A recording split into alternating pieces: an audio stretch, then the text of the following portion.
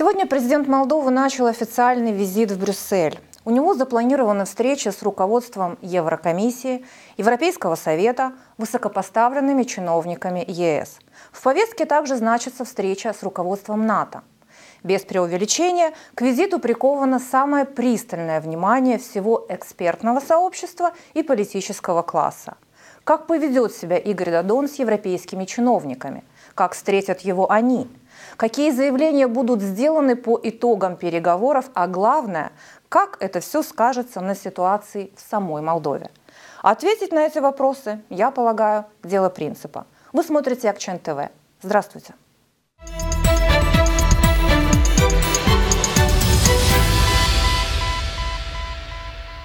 И я представляю вам моих гостей. Это Валерий Гелецкий, депутат парламента, член парламентской комиссии по внешней политике. Здравствуйте. Здравствуйте. И Влад Бутрынча, представляющий партию социалистов, депутат парламента, исполнительный секретарь ПСРМ. Правильно? Здравствуйте. Здравствуйте.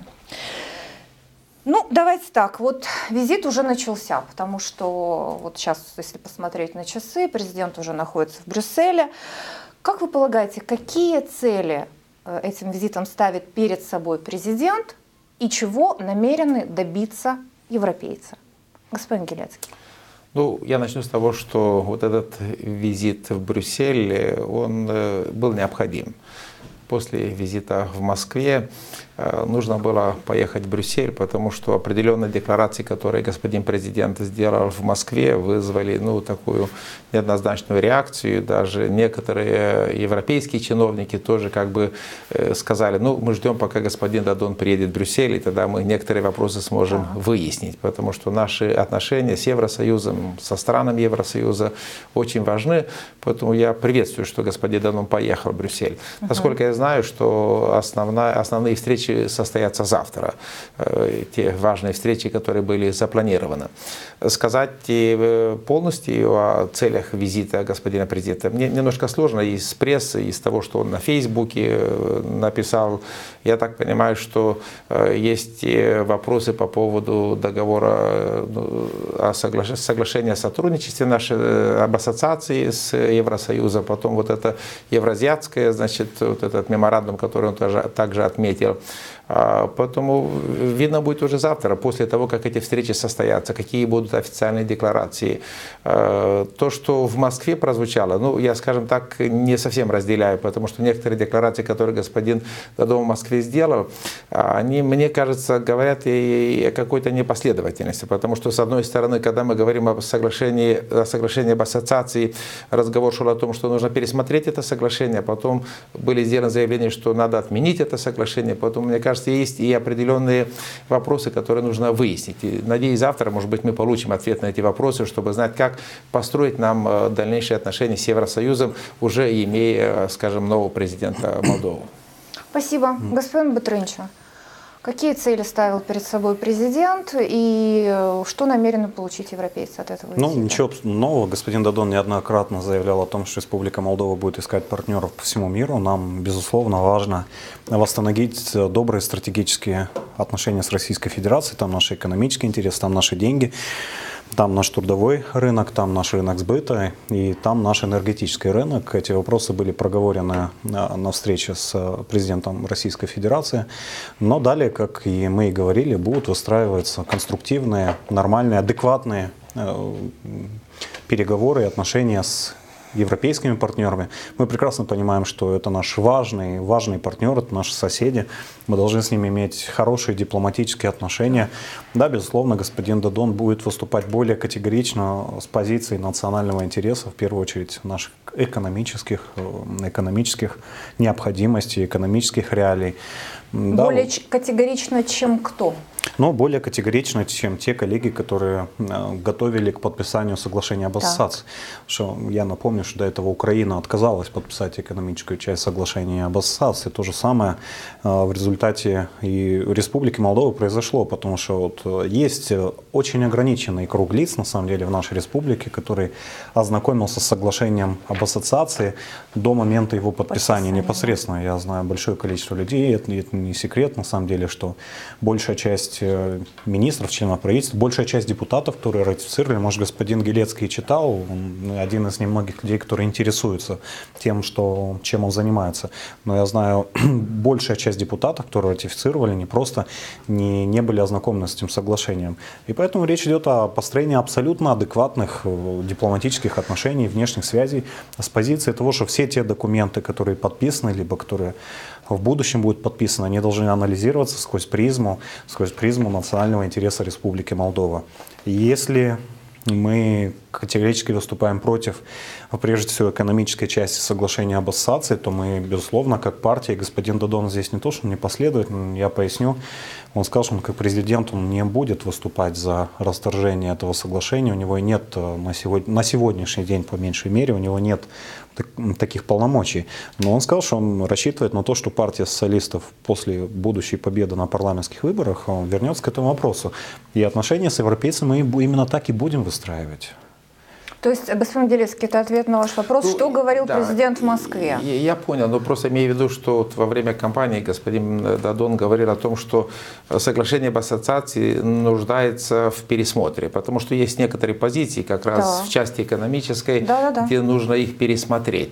А потом, когда стал вопрос о том, что нужно расторгнуть это соглашение, это прозвучало довольно радикально. Мне кажется, вот эта позиция, она не совсем, скажем так, конструктивна, потому что все-таки это соглашение об ассоциации, она принесла ей много хорошего, и нельзя это отрицать. И мне кажется, вот такие позиции могут вызвать определенную реакцию, потому что расторгнув э, соглашение об ассоциации, это, э, я почти уверен, приведет и к потере безвизового режима. То есть будут определенные какие-то последствия. Не думаю, что э, президенту страны или вообще в целом гражданам нам нужны какая-то, нужна какая-то конфронтация Я сейчас понимаю, на о чем вы говорите, но ведь как? лейтмотив, насколько я помню, был таков. Если народ поддержит партию, а- а партия пойдет именно с этой идеей, господин Гелецкий, это будет Ну, воля народа. я понял. И президент имел в виду, э, что если будет такова воля народа, а он как глава государства непременно это поддержит. Где вы Ну, здесь увидели Крамолу? Давайте так э, посмотрим на нашу соседнюю страну Так. Румынию. Вроде бы тоже была воля народа. И в какой-то степени смотреть, какие протесты сегодня на улице. Потому что тоже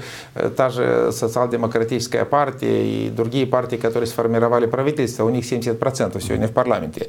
Но вот наступив на грабли, они вызвали такую бурную реакцию со стороны общественности, со стороны, скажем так, людей. Потом здесь все-таки говоря о том, что если господин Дадон пойдет с этим лозунгом в кампанию, и он скажет, что да, наша основная цель, или как бы одна из основных целей, чтобы расторгнуть этот договор, э, э, это соглашение об ассоциации, и народ поддержит, ну, с политической точки зрения, мне кажется, какая-то корректность и последовательность будет. Но с другой стороны, нельзя... Но с другой стороны, народ будет неправ.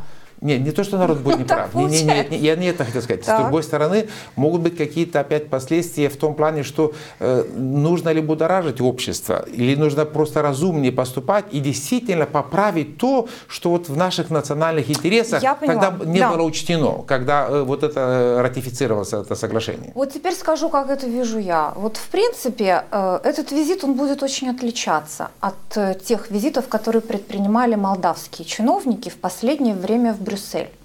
Да? Потому что раньше, когда приезжали наши чиновники, все наши премьер-министры, да, то, э, в принципе, что они делали? Они э, клялись в вечной любви э, Европейскому Союзу, соглашались практически со всеми условиями, и тон был, мягко говоря, такой лебезящий. Да? Теперь это будет все-таки, насколько я понимаю, это будет несколько другая встреча, потому что не зря э, уже фоном прозвучали заявления президента, в которых он сказал, все это очень хорошо, мы должны дружить со всеми, это тоже его фраза, но перво-наперво во главу мы ставим национальный интерес. Готовы ли к такому серьезному и другому разговору в Брюсселе? Нет, ну, я согласен с вашей критикой и думаю, что отчасти вы правы в том, что э, многие, скажем так, визиты и многие соглашения, они были приняты э, без того, чтобы вникать в суть того, что предлагается. Нет, не в этом далее. дело, господин Гелецкий. Все визиты последних премьеров проходили на фоне украденного миллиарда. Понимаете? И когда уже наши чиновники приезжали туда, в Брюссель, с ними говорили несколько по-другому. Нет, нет, я имею в Вот виду начало. Вы уже как бы говорите о последних визитах. Да, я, я, в виду, я так далеко не заглядываю. Не, не, да. ну я имел в виду вот э, даже то, как мы пришли э, к соглашению об ассоциации и все там, э, что там предусмотрено. Вот здесь, я думаю, тоже есть определенная какая-то справедливая критика. Но с другой стороны, надо признать, что в таких переговорах есть и, и- и такая составляющая. Берите или уходите. То есть не всегда ты можешь и договариваться, потому что наш национальный интерес, он не всегда может совпасть и с интересом других стран. И здесь нужно найти тот компромиссный вариант, нужно найти тот общий знаменатель для того, чтобы оно было взаимовыгодно, потому что без взаимовыгодных соглашений никто ничего не подпишет, если только односторонняя какой-то односторонняя какая-то выгода. Вот господин Делецкий видит это как компромисс. Вот, Но э, я- А вы как? Безусловно, не полагаете? согласен здесь. Вот если говорить с точки зрения дипломатии, международных отношений, то подписание любого соглашения, договора, либо каких-то других э, актов между государствами, либо государственными какими-то международными организациями, ему предстоит в нормальной ситуации очень серьезные раунды переговоров, когда каждый, когда стороны предъявляют какие-то свои условия, когда стороны каким-то образом проводят свою политику внешнюю в интересах собственного государства. Что в конечном итоге мы подотчетны гражданам своей страны, и в конечном итоге показателем является уровень жизни людей. А, Да, красивые лозунги, красивая обертка – это замечательно, но вот я хочу сказать, что в 2009 году рейтинг европейской интеграции среди населения был более 70%, сегодня менее 40%, в два раза меньше. Почему? Казалось бы, гордо подняли флаг Европейского Союза. Вопрос очень простой. Помимо кражи миллиарда и прочих вещей, они уже, к сожалению, сегодня становятся банальными. Уже не только это важно. Важно и просто то, что подписав соглашение, вот эту экономическую часть, мы лишились своего традиционного рынка, и мы не попали на европейский рынок. И вот это тот факт, с которым приходится жить молдавским сельхозпроизводителям и молдавскому промышленному какому-то классу, который еще есть. И э, нас фактически, нашу экономику положили на лопатки. В этом не виноваты европейцы, потому что не европейцы должны быть озабочены молдавской экономикой. Но в этом, безусловно, виноваты те, кто подписывал это соглашение и не просчитал экономические последствия. Вот я вам хочу привести пример. Украинцы почему отказались подписывать экономическую часть соглашения об ассоциации? Они дали заказ своему Академии наук Украины. Академия наук просчитала, что вот в этот транзитный период они потратят, они потерпят ущерб в около 20-25 миллиардов долларов. И они сказали европейцам, власти сказали, «Ну вот у нас, видите, в период транзиции вот такие-то потери, это наша экономика. Что делать? Вы готовы нам как-то помочь с, этим периодом финансово? А Вот, э, европейцы сказали нет. Они отказались подписывать экономическую часть соглашения ассоциации. Януковича за это свалили Майданом. И что пришло, когда, и что случилось, когда пришел Порошенко? Он тоже не подписал экономическую часть соглашения. Также и в нашем случае, уважаемые партнеры европейцы, если вы нас уважаете, и вы уважаете нашу страну, наш народ, мы потеряем убытки нашим сельхозпроизводителям. Окей, они, кстати, взяли на себя ну, определенную даже э, где-то для сельхозпроизводителей программы, и они кое-какие небольшие деньги выделяли, только эти деньги почему-то пошли не простым молдавским сельхозпроизводителям, они шли на Каравиту, на другие компании, близкие власти и так далее. И в итоге вокруг, вокруг всего подписания соглашения об ассоциации и последствий, которые происходили после этого, произошло очень много грязных, нехороших вещей, и в конечном итоге простой человек, он пострадал. Жизнь простого человека не стала лучше. Да, нам говорят о том, что э, есть какие-то гуманитарные программы, построили там где-то кусок дороги и так далее. Мы благодарны, и мы благодарны европейцам за поддержку, но мы должны для себя четко понять, как мы видим будущее своего государства. И я абсолютно уверен, Людмила, что господин Дадон достаточно хорошо подготовлен как дипломат, он будет достойно представлять интересы Национальной Республики Молдова. И я уверен, что европейцы, европейцы обязательно прислушаются. Потому что европейцы вполне адекватные ребята. Когда с ними беседуешь, они соглашаются с теми аргументами. Но другой вопрос, что кто-то должен иметь силу воли и иметь, и иметь так скажем, не запятнанную репутацию, то, что вы намекнули на миллиарды и так далее. Нельзя шантажировать политиков. И если он будет проводить эту линию в интересах людей, то я уверен, что люди это оценят. Вот вы говорите об аргументах. Э, сегодня президент опубликовал свое видение в цифрах, да, а, значит, наших э, экономических отношениях с Европейским Союзом и не только. Но нас интересует пока вот, э, значит, именно этот момент. Он опубликовал их в своем блоге, и потом они разошлись по всем СМИ. Вот что говорят цифры, его аргументы перед европейцами. За период с 1 сентября 2014 года по август 2016 года такие данные. В условиях свободной торговли с ЕС экспорт страны Евросоюза уменьшился на 41 миллион долларов. В итоге с июля 2014 по август 2016 экспорт молдавских товаров на российских рынок да, из-за этой всей ситуации снизился на 325 миллионов долларов.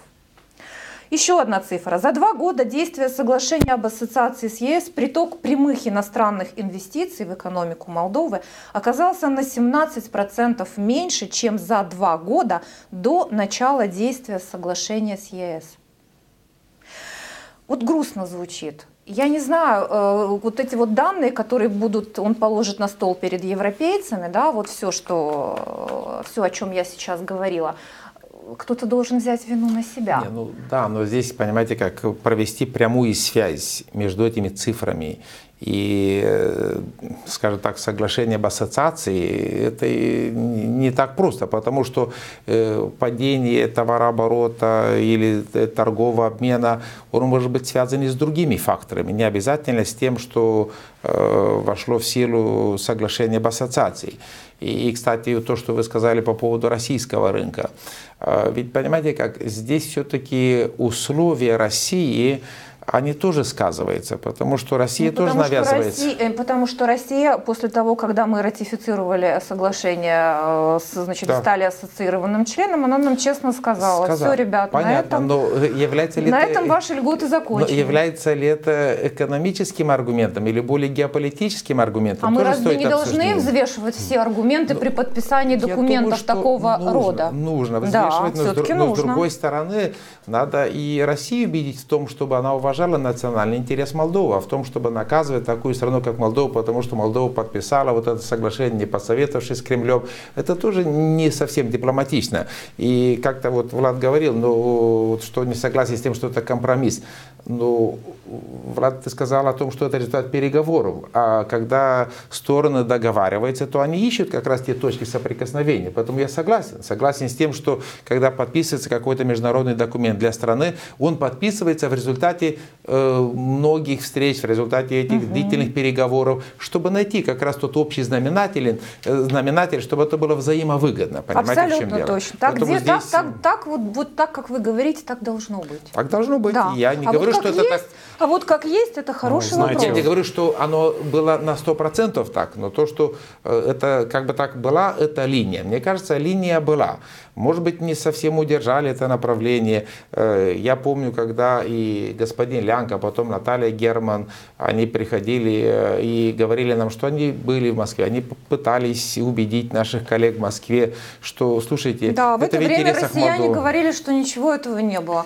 Как-то ну, это, ну, это уже, знаете, я... дела минувших Хорошо. Э, дней. Знаете, я бы мог вот обвинить там господина Гелецкого в идеализме, что вот он действительно видит многие вещи так, как они должны быть, а не такие, как они к сожалению, есть в молдавской политике. Он прекрасно знает, что произошло в стране и почему так обрушился рейтинг европейской интеграции. Просто то, что те чиновники, которые дефилировали европейским флагом, на самом деле занимались банальным хищениями, воровством. Но это вопрос другой. Как, как, как будет дальше и как, как это видится? Господин Дудон предлагает э, принципиально новые новое видение наших переговоров, нашей внешней политики. И, и наверное, впервые, ну, впервые для Республики Молдова, как минимум, будет предложен трехсторонний формат переговоров, то есть Кишинев, Молдова, Россия и Европейский Союз для того, чтобы вот мы, государство, которое является стыком где-то интересов, да. И эту идею, эта идея поддержана Россией, но да. наши пока не сказали ни слова. Да, наши я имею в виду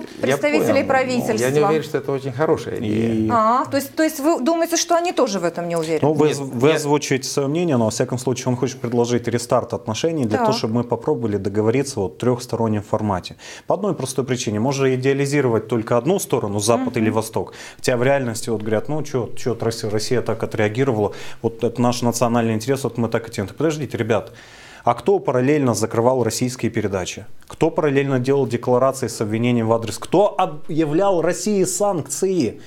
Мы Республика Молдова, мы маленькая страна, мы не являемся геополитическим игроком. Нам какого, извините за выражение, не буду сказать какого, но нам Рожна. лезть... Я вам Рожна, помогу. спасибо. Пожалуйста. Нам объявлять кому-то санкции. Мы вообще кому, кроме самих себя, можем обвинить, а, предъявить санкции. Поэтому нормальная, адекватная э, реакция со стороны России. Вот тут начали это самое, они ответили. Вопрос еще, мы хотим принципиально перезагрузить эти отношения и попытаться объяснить. Вот то, о чем на своем блоге написал э, господин Плохотнюк, на самом деле это просто еще одна идея, которую он украл у социалистов. Я объясню, о чем идет речь. Это мы говорим и российским, и европейским чиновникам во встречах, мы говорим о том, что Молдова может стать правильным мостиком между вот Востоком и Западом. Мы можем стать нормальной страной, которая стабильной, предсказуемой, с нормальной инфраструктурой, которая будет удобна для дипломатических, экономических проектов и Западу, и Востоку.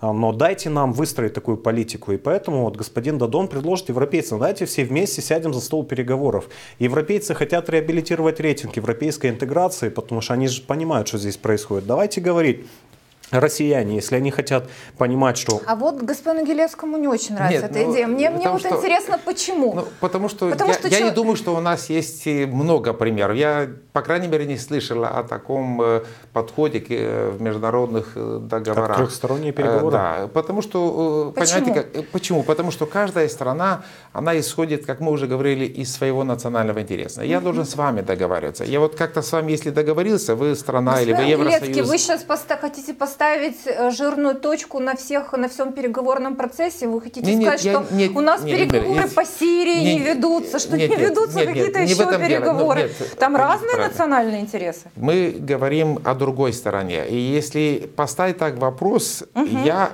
считаю, что э, случится то, что с Приднестровьем. То есть заморозится, все заморозится, потому что у нас такой же формат примерный в Приднестровье, когда и есть и Евросоюз, и Америка, и Россия, и мы все топчемся на месте, потому что в таком формате нельзя какие-то прогрессы сделать. Это мое понимание. Так вот мы же предлагаем другой формат. А какой вы предлагаете? Вы предлагаете, говорит, вы предлагаете формат Европы, Россия, Евросоюз и Молдова. Да, ну, а да. чем это отличается от подхода к решению Приднестровской проблемы? Ну, хотя бы Понимаете, тем, что там нет Украины и нет Соединенных Ну, Штатов. Я не думаю, что... Давайте я так, думаю, это- что- это первое, что я думаю, приходит что на ум. Это не, Понимаете? не, Вы э, хотите сказать, что особого это не про- рабочий вариант. Я думаю, что это не рабочий Ну, вариант. вот, Влад, да. господин думаю, вот вы- не рабочий вариант. Э, член, причем активной молдавской делегации в парламентской ПАСЕ. ассамблее Совета Европы. И я думаю, что там вам коллеги подскажут, что существует трех, четырех, пяти, шести форматные переговоры. Это сейчас очень модная тенденция на Западе.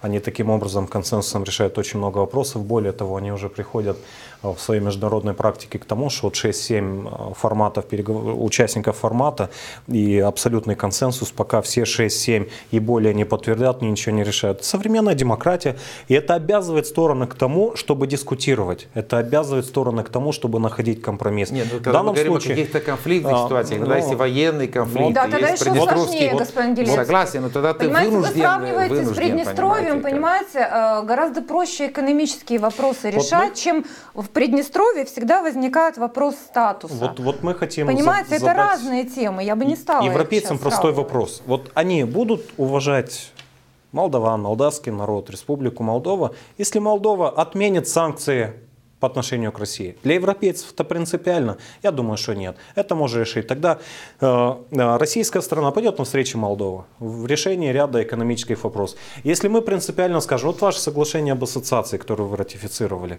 вот в условии, если Молдова не будет участвовать в геополитических американских играх, в санкциях и так далее, они Российская сторона готова пойти навстречу в решении определенных вопросов. То же самое с европейцами. И в итоге я вот начал говорить о том, какую идею у нас э, демократы пытаются увести. Вот мы можем построить нормальный мостик. У нас нет геополитических амбиций. Мы можем это выстроить. И в истории нет ничего абсолютно нереального. Все делается людьми и все решается людьми. Ну, время Господин покажет, Белецкий, если да. этот вариант он рабочий, если он принесет какие-то успехи. Э, я думаю, что он не подходящий вариант для решения этих вопросов. Нужно договариваться отдельно с Россией, и когда ты договариваешься с Россией, ты знаешь, о чем ты договаривался ранее с Евросоюзом, можешь вернуться и сказать, вот это мы можем или должны пересмотреть, потому что дальше мы не можем двигаться и так далее. Я думаю, что это было более практически, более прагматичный подход к решению такого рода вопросов. А вы знаете, господин Дадон сейчас устроит маленький тест европейцам. Он э, заговорит э, о том, что мы, мы хотим э, подписать меморандум, это правильно называется, о сотрудничестве с Европейским экономическим союзом. Он имеет в виду... Евразиатским. Э, с- Да, с евразийским, Евразийским. извините. Э, э, Причем он подчеркивает, что его положения заранее, да, они не будут э, Противоречить. про- противоречить подписанному и ратифицированному нашему соглашению об ассоциации. То есть он примерно скажет так, господа европейцы, хорошо, у нас есть проблемы. Вы видите вот эти ужасные цифры, да? Вы их не можете не видеть, вы не можете не понимать, в каком в какой ужасной экономической ситуации мы находимся. Мы должны торговать с Россией. Вот мы хотим подписать этот меморандум. И вот то, как ответят европейцы, для меня, например, будет хорошим тестом. Их желание помочь или не помочь Молдове. Как полагаете? Ну, мне сложно ответить. На действительно посмотрим, что Ну, европейцы нет, скажут. вы согласны с тем, что это будет хорошим тестом на их отношение к стране? Если э, на самом деле этот меморандум евразийский и вообще вся эта концепция евразийская, она не противоречит э, э, соглашению об ассоциации, я проблем не вижу. Но я не уверен, что там нет противоречивых элементов. И на первый взгляд может казаться, что все хорошо, все должно идти гладко. А если эксперты вникнут и они обнаружат, что есть проблемы, мы не можем вот так просто подписать этот меморандум, не учитывая вот определенные последствия, взяв на себя какие-то обязательства. Потому что когда ты подписываешь какой-то документ, определенные обязательства на себя берешь. Конечно. И их надо уважать. Конечно. Господин Я абсолютно уверен, что это все реально. Международное право позволяет нам, с- как субъекту международных отношений, заключать э, десятки договоров. И, конечно, есть работа техническая дипломатов, э, потому чтобы э, были устранены какие-то потенциальные противоречия. Это абсолютно нормальная модель. Вот опять же, этими цифрами никого не убедишь, но до 2009 года э, прямых инвестиций в Республику Молдова было за последний год, 2008-2009, э, почти 900 миллионов евро. Данные Национального банка, данные статистики и так далее. Сегодня это меньше 200 миллионов. То есть инвестиции прямые упали в 4,5 раза. Ну, я, да, я, я давала это, несколько это, это помимо, помимо других, нет, я, я беру с 2009 Да, вы, да, вы да, взяли да. последние два Да, года, да, сравнили я с предыдущими, последние а я вот беру сравнение до 2009 года. Инвестиции упали, все показатели упали. У нас очевидно есть экономические проблемы. Это не проблема европейцев или русских, это проблема наша. И мы должны думать, как мы ее решим. Если нам меморандум, э, по которому мы можем получить статус наблюдателя в евразийских экономических структурах, экономических, Европейский Союз это политическая структура, уже априори здесь не может быть политических каких-то вещей. Но если мы подписываем это соглашение, если мы получаем доступ к очень крупному рынку, на котором мы уже сегодня востребованы, и мы начинаем наша экономика начинает работать, у нас потенциал экспорта туда полтора миллиарда долларов в год. Это то, что мы можем честно зарабатывать. А молдаване всегда всю историю честно зарабатывали. И я уверен, что это скажется очень хорошо на нашей экономической ситуации. Если мы получим другую цену на энергоресурсы, это очень сильно улучшит уровень жизни нашего населения. Надо двигаться. Что могут тут сказать европейцы? Нет, принципиально, вы должны жить так, как, как вы живете сегодня. На свой рынок мы вас не пустим, у нас своих производителей хватает. Но в Европе-то кризис перепроизводства, они производят больше товаров, чем потребляет их рынок. Они сами ищут восточный рынок, российский и другие. Если они э, адекватно отреагируют дипломатически на эти вещи, ну что они могут сказать против? -то? Я думаю, что И еще, это хороший тест. Я думаю, что случае- еще господин Дадон может сказать, э, не знаю, вслух или не вслух, но наверняка имеет в виду э, такую вещь, что говорить о единстве в отношении Евросоюза на сегодня их позиции, да? В том числе и в экономике, я уже не говорю о политике, э, не представляется возможным, потому что на сегодняшний день Европа и ее институты не являются едиными. И вы знаете, о каких вещах я говорю. Да, и они делятся не только по отношению к российским санкциям, а по многим-многим другим вещам. То есть сегодня в Европе, Европа тоже переж- переживает серьезный кризис, вот, в том числе и все ее институты. Поговорим немного о политической составляющая этого визита. Конечно, не могу здесь обойти стороной э, встречу господина президента с господином Столтенбергом, генеральным секретарем э, НАТО. НАТО. Да. Э, по той информации, которая у нас есть на сегодняшний день, э, президент хотел бы, чтобы э, структуры НАТО подтвердили для Молдовы да, значит, уважение нашего статуса нейтралитета. Вроде бы ничего экстраординарного нет, но уже сопротивление есть в стране. Уже спикер быстренько высказался о том, что мы не нуждаемся ни в каких дополнительных вещах. Ему вторит премьер-министр. Вам как вообще эта идея, господин Гелецкий, и как вы полагаете, как встретят в НАТО эту, вот ее, саму ну, эту идею? Я не знаю, для меня тот факт, что Молдова является нейтральной страной, то, что записано в Конституции, э, это само собой, то есть всем ясно, что зачем спросить генерального секретаря НАТО, чтобы он публично заявил о том, что да, я признаю нейтралитет Молдовы. Uh-huh, Мне кажется, здесь больше такая политическая составляющая для президента. Он хочет, не знаю, видно у политиков, и в том числе у господина Дадона, такое желание сказать, я все-таки заставил от генерального секретаря НАТО, чтобы он признал нейтралитет Молдовы. Мне кажется, никто и не ставил под вопросом, что Молдова нейтральная страна. Э, в момент, когда мы сотрудничали, подписали вот это соглашение о партнерстве с НАТО, вот это соглашение, оно, сколько раз мы на эту тему говорили, это соглашение было э, с самой независимости Молдовы. И когда коммунисты были у власти, и когда господин Дадон входил в этот кабинет министров и так далее. Вот эти программы для миротворческие программы и программы гуманитарного характера, они всегда были. Поэтому не нужно здесь усложнять или как-то так э, делать из этой проблемы, когда здесь проблем нет. Правда? Вы, я, вы искренне считаете, Я считаю, что проблем нет. Я То считаю, есть вы что считаете правомерно нет. сравнивать ситуацию сегодняшнего дня с той, которая была, например, ну, лет 10 назад? Да, да? я так считаю. Только тогда у нас не было, речь даже не шла о том, чтобы мы открывали офис НАТО. Это все-таки друг, другая немного ситуация. Думаю, и, и вот я думаю, что сейчас Влад Батренчи будет говорить о тех вещах, которые не устраивают э, в том э, смысле, как ведет себя, значит, э, здесь Североатлантический альянс и как его, главное, встречает оппозиция. Ну, тем более, что, я права, да, сейчас, сейчас Влад скажет. Просто еще одно, одно слово. Ну, господин президент, согласно Конституции, он главнокомандующий. Ну, в конечном итоге... Верховный главнокомандующий. Верхов, да, верховный главнокомандующий. Он верховный главнокомандующий. То есть, собственно говоря, нейтралитет зависит по большому счету и от Верховного Главнокомандующего, не от генерального секретаря НАТО. Как интересно. Ну. Господин Патренчев, вы согласны с тем, что у нас нет никаких угроз э, со стороны э, значит, каких-то других сторон ну, в плане конечно, нашего нет. нейтралитета? Я думаю, что господин Дадон, Игорь Николаевич не настолько наивен, чтобы задавать вот просто вопрос, чтобы самоутвердиться генеральному секретарю. Я вам приведу только одну цитату господина Столпингера. Я ее, кстати, генерального секретаря НАТО, я ее, кстати, в парламенте задавал вот, э, Министерству юстиции, да, вот, который рекомендовал нам открытие, прорабатывал открытие офиса uh-huh. по, по связям с НАТО. Да, вот раньше uh-huh. у нас был центр информирования и документирования, центр, а сейчас офис по связям с НАТО. Я привел одну фразу. Господин генеральный секретарь позволил себе сказать, что нашу армию необходимо модернизировать, наша армия должна быть боеспособной, наша оборонная концепция, наша оборонная концепция, она устаревшая, она не соответствует реальности и так далее. Вот мы говорим о нейтральной стране, где никто не имеет права вмешиваться в нашу оборонную концепцию. Да?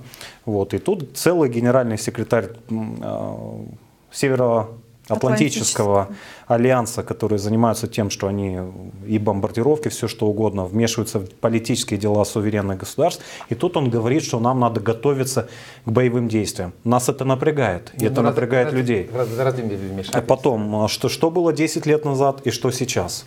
10 а, лет назад Центр информирования и документирования говорит за себя. Я вот в парламенте цитировал коллегами из других фракций, которые, может быть, не имели времени ознакомиться с, с уставными задачами, что прописано в уставе уже центра, центра, вот, который был открыт у нас в Кишиневе. Так вот, что, что там написано и чего не было раньше. Там написано, что а, им Государство Республика Молдова предоставляет право строить военно-стратегические объекты. Там это написано черным по белому. И более того, их освобождают от всех налоговых сборов и их обеспечивают вплоть до военного контингента, дипломатическими паспортами, неприкосновенностью. И им предоставляют право создавать и строить вот эти объекты военной инфраструктуры и самим охранять эти объекты, то есть без государства на территории которого они расположены. И нам говорят о том, что да, у вас нейтралитет, мы все признаем и так но мы же тоже не папуасы, мы не аборигены, мы умеем читать. И мы видим, что нас втягивают и протягивают по той программе, которая не ну. Вот Молдове еще чего не хватало. Санкции мы уже России объявили. Россия уже потеряла сотни миллиардов долларов из-за этих санкций, в кавычках. И вот давайте мы сейчас еще будем бря бряцать оружием. Но не нужно нам играться в войнушку. Мы должны понять, у нас самая главная беда, это, помимо коррупции, это нищета. Это нищета, потому что наши села вымирают. Но куда нам военная инфраструктура? Ну кому мы хотим показать свои мускулы? Кому, кого мы? Поэтому господину э, генеральному секретарю в виде риторического вопроса, на который не требовалось его ответа, напомнили о том, что Молдова нейтральная страна. И его заявление, которое он сделал, мы тоже читаем. Да, может быть, они рассчитывали, что эти э, заявления растиражируют где-то там, а до нас они, но они до нас дошли. И эти заявления это его грубое вмешательство в наши дела. Нет, полностью полностью не согласен с тобой, Влад, здесь, потому что это никакое не вмешательство. Это заявление говорит о добром, и я думаю, это законно, и, как бы сказать, для нас это в наших интересах желание, чтобы у нас была действительно боеспособная армия. Когда мы говорим о том, что мы нейтральная страна, это не означает, что мы не имеем свою собственную а давайте армию. откроем офис договора о коллективной безопасности. Да, они нам помогут. Представляете, тут поднимутся вот, вот, вот, вот, э, господин Гелецкий, давайте так. Давай, вот, да. вот мы будем выражать, э, знаете, здесь тоже волю других офицеров, которые скажут, что там стандарты круче. Почему нет? Нет, нет, ну при чем тут это? Мы ну как при чем тут это? Вы, э, здесь у этого мы говорим о том, чтобы совершенно определенная политика. Чтобы а у договора по коллективной безопасности другая политика. Ну, мы говорим о том, что эти заявления, в этих заявлениях прозвучали фразы о боеспособности, боеспособности или, как сказать, нашей армии, о том, чтобы наша госбезопасность, она была на высшем уровне или на лучшем уровне. Об этом мы сегодня говорим. Хорошо, я, я, вы не ответили на мой вопрос, на но какой? это ваше право по поводу офиса договора о коллективной друг... безопасности. Я хочу немножечко по-другому сказать. Вы знаете, э, вот э, вообще есть такая хорошая вещь, как прецедент. Да? Вот смотрите, я порылась и нашла. Туркменистан. В, в 1995 году что они делают? Они создают прецедент. Они принимают закон о постоянном нейтралитете Туркменистана. Так вот, что интересно, в этот же день Генеральная ассамблея ООН принимает резолюцию в которой признается и поддерживается провозглашенный Туркменистаном статус постоянно нейтрального государства. Вот скажите, почему Туркменистану можно э, значит, добиваться признания своего нейтралитета на международном уровне? Ну, скорее всего, а в Конституции почему, не написано, что А почему, страна. а вот когда вы будете знать, что написано в Конституции, тогда будете, говорить, тогда вы будете, тогда вы будете говорить. А почему Республика Молдова не может добиваться признания своего нейтралитета со стороны военного блока. Любая страна, Понимаете, прецедент любая есть. международная вот организация, которая признает суверенитет Молдовы, по определению признает Конституцию Молдовы, где черно по белому написано, что мы нейтральная страна. Я почти уверен, действительно надо проверить, но я почти уверен, что в Конституции Туркменистана ничего не сказано о нейтралитете. Поэтому они, им нужен был этот закон о постоянном нейтралитете. То есть они, вот, они поленились это внести в свою Конституцию, им необходимо ну, было обратиться то, поленились, сразу ну, просто, Господин Гелецкий, давайте не будем знаю, говорить то, то, о чем вы не знаете, но у нас не так много времени, хочу немножечко эту тему политическую свернуть, но перейти на политическую ситуацию у нас в стране, потому что, вот как показала Москва, э, Визит президента, э, за ним внимательно следят в Кишиневе, и он влияет на ситуацию в самой стране. Вот как этот визит повлияет на политическую ситуацию в стране? Ну, После того, как визит закончится, в зависимости от тех результатов, э, может быть, каких-то даже устных, скажем так, соглашений, деклараций, то уже можно будет сказать, как этот визит повлияет на политическую ситуацию в нашей стране.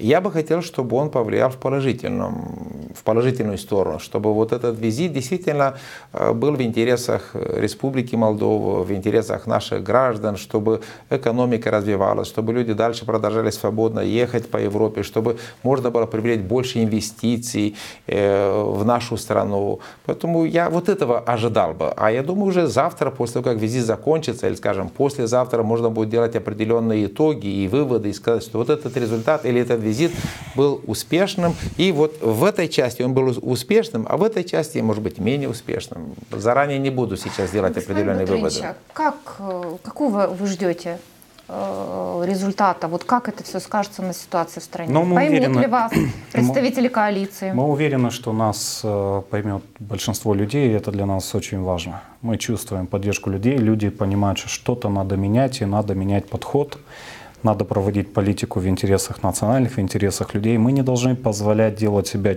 чьей-то колонией не должны это позволять ни Западу, ни Востоку. Мы должны проводить политику в своих интересах, мы должны продвигать свои интересы. Мы уверены, что если будут конкретные результаты вот по визиту в Москву, то и люди почувствуют реальные изменения, то все будет хорошо. Что касается коалиции, ну, конечно, будет истеричная реакция вот этих мальчиков с рейтингом по полпроцента, по четверть процента. Есть партия, которая, получив 19 мандатов, еще надо посмотреть, как они получили эти 19 мандатов, которые сегодня контролируют более 60, и которые контролируют сегодня и правительство, и парламент, и претендуют на то, что они в этой стране решают абсолютно все. Мы напомним, что мы живем в демократическом государстве. Суверенитет принадлежит народу. Люди делегировали очень серьезную свою часть суверенитета президенту через инородные выборы. Никогда столько еще людей не, не участвовало в выборах. Люди, значит, поверили в Дадона. И люди прекрасно понимают, кто за него голосовал, прекрасно понимают, за что он выступает. И я считаю, и люди считают, что Дадону надо дать шанс. И люди очень надеются в то, что, на то и верят в то, что ему получится что-то изменить, и начнет меняться не только политика, но и экономика в лучшую сторону, и люди как-то, и уровень жизни людей. И люди очень надеются, и многие связывали последние ожидания с этим. Потому что жестоко разочарование. Поэтому будет определенная истерическая реакция, Людмила, отвечая на ваш вопрос, но мы Нет, ее я абсолютно хочу вопрос не... поставить вам жестче. Э, вот смотрите, если э, по результатам этого визита угу. станет понятно, что общий язык с европейцами был, наня... был найден, да, угу. мы увидим, что риторика другая, мы увидим, что и стороны договорятся о сотрудничестве. Вы полагаете, я, это, это, это обрадует я, представителей я, правящей я коалиции? Я думаю, от этого выиграют все, в том числе и те люди, которые воз, выступают коалиции. за европейскую интеграцию. Люди, люди это оценят. Оценит и господин Гелецкий, если увидит нормальную реакцию стороны европейских партнеров. Но есть, конечно, товарищи, которые этого не оценят. И есть uh-huh. товарищи, которые будут делать все, что возможно, вплоть до импичмента.